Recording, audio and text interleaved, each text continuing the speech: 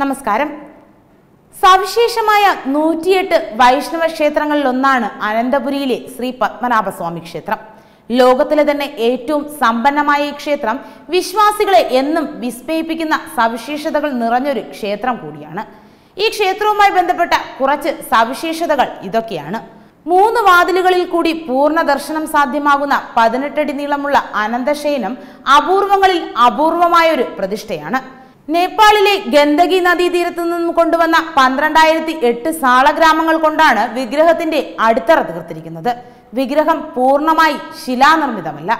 കടുശർക്കര യോഗം എന്ന അത്യപൂർവ ആയുർവേദ ഔഷധക്കൂട്ട് ഉപയോഗിച്ചാണ് മൂലവിഗ്രഹം നിർമ്മിച്ചിരിക്കുന്നത്.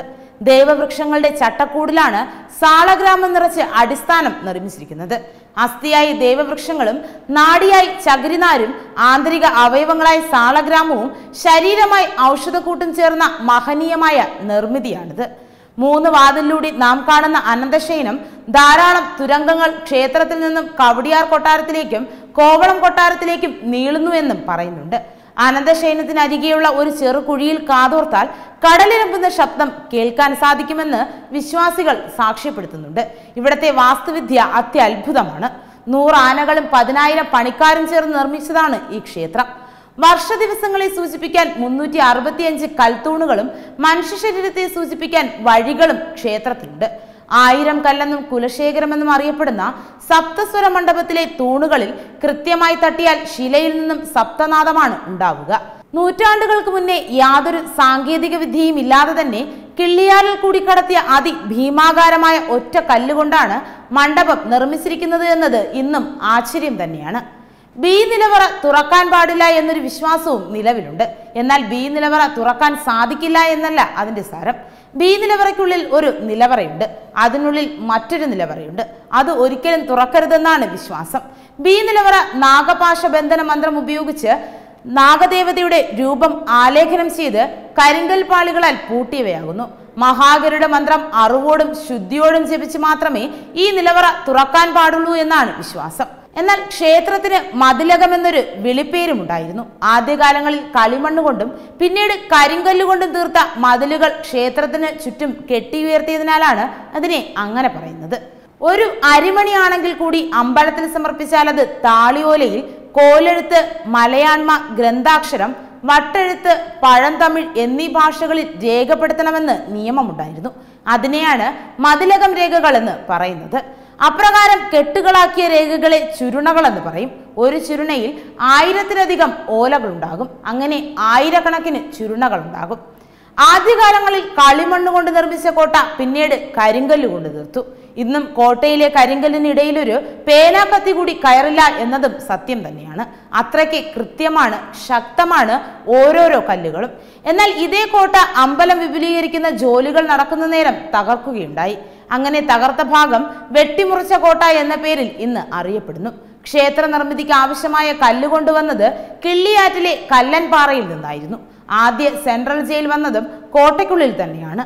തിരുവിതാംകൂർ സൈന്യത്തിന്റെ ബാരക്കുകൾ സെൻട്രൽ ജയിലാക്കി പിന്നീട് മാറ്റുകയായിരുന്നു.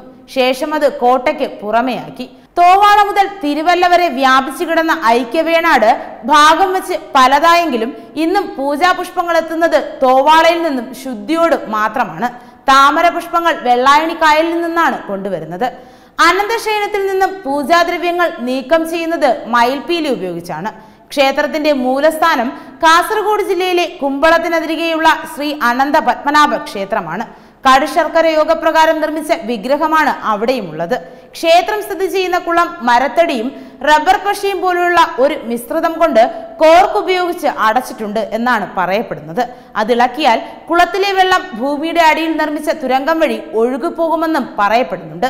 അതേസമയം ഇന്ത്യൻ യൂണിയനിൽ സ്റ്റേറ്റ് ഓഫ് ട്രാവൻകൂർ ലയിക്കുന്നതിന് മുന്നേ വരെ ഭഗവാൻ ഭരണാധികാരിയായുള്ള ഒരേ ഒരു രാജ്യം ഇത് മാത്രമായിരുന്നു ഓരോരോ ദിനവും തിരുവിതാംകൂർ രാജവംശത്തിലെ മുതിർന്ന ആൾ പുലർച്ചെ ഭഗവാനെ മുഖം കാട്ടി ദൈന്യദിന ഭരണകാര്യങ്ങൾ ഉണർത്തിക്കുകയെന്നൊരു രീതിയും ഉണ്ടായിരുന്നു ഒരു ദിവസം അതിൽ വീഴ്ച വരുത്തിയാൽ സമസ്ത അപരാധം ചൊല്ലി മാപ്പിരക്കുകയും പിഴയൊടുക്കുകയും വേണം എന്നുള്ളത് നിർബന്ധം തന്നെയായിരുന്നു. വേണാടിന്റെ ദേശീയ പതാകയിലുള്ള വലംപിരിശങ്ക് ഭഗവൽ മുദ്രയാണ്. രാജ്യാധികാരി ശ്രീ അനന്ത പത്മനാഭനും. ബ്രിട്ടീഷ് ഭരണകാലത്ത് തന്നെ ആറാട്ടുവേളയിൽ കര വായുസേന വിഭാഗങ്ങളും പോലീസും അർദ്ധസൈനിക വിഭാഗങ്ങളും ഇരുപത്തിയൊന്ന് തോക്ക് അഭിവാദ്യം ശ്രീപത്മനാഭന് നടത്തി വന്നിരുന്നു. പിന്നീട് ഇന്ദിരാഗാന്ധി പ്രധാനമന്ത്രിയായിരുന്ന കാലത്ത് ഈ സമ്പ്രദായം നിർത്തലാക്കുകയായി. എന്നാൽ പിന്നീട് ഇന്ദിരാഗാന്ധി പ്രധാനമന്ത്രിയായിരുന്ന കാലത്ത് ഈ സമ്പ്രദായം നിർത്തലാക്കുകയായിരുന്നു. പത്മനാഭന്റെ ആറാട്ടുവേളയിൽ മാത്രമാണ് അനന്തപുരി അന്തർദേശീയ വിമാനത്താവളം അടയ്ക്കുക. ആറാട്ട് എഴുന്നള്ളിപ്പ് വിമാനത്താവളത്തിനുള്ളിൽ കൂടി കടന്നു പോകുന്നതിനാലാണിത്. ശ്രീ പത്മനാഭസ്വാമി ക്ഷേത്രവുമായി ബന്ധപ്പെട്ടതാണ് കോട്ടയ്ക്ക് തൊട്ടുപുറമെ ക്ഷേത്രത്തിന് വടക്കു ഭാഗത്തായിട്ടുള്ള പഴവങ്ങാടി ശ്രീ മഹാഗണപതി ക്ഷേത്രം. പത്മനാഭപുരം തലസ്ഥാനമായിരുന്ന കാലത്ത് തിരുവിതാംകൂർ സൈന്യത്തിലെ ഒരു സൈനികന് നദിയിൽ നിന്നും കിട്ടിയതാണ് ആ ഗണപതി വിഗ്രഹം. തിരുവിതാംകൂർ സൈന്യം ആ വിഗ്രഹം തങ്ങളുടെ പരദേവതയായി പൂജിച്ചു പോന്നു ക്ഷേത്രം തലസ്ഥാനം അനന്തപുരിയായി മാറിയ നേരം പഴവങ്ങാടിയിൽ പ്രതിഷ്ഠ നടത്തുകയും ചെയ്തു. സൈന്യം മദ്രാസ് റെജിമെന്റിൽ പിന്നീട് ലയിക്കുകയും ക്ഷേത്രകാര്യങ്ങൾ ഭാരതീയ കരസേനയുടെ പാങ്ങോടുള്ള ക്യാമ്പ് ഇപ്പോൾ നടത്തുകയും ചെയ്യുന്നു. വെബ് ഡെസ്ക് തത്തുമീ ന്യൂസ്.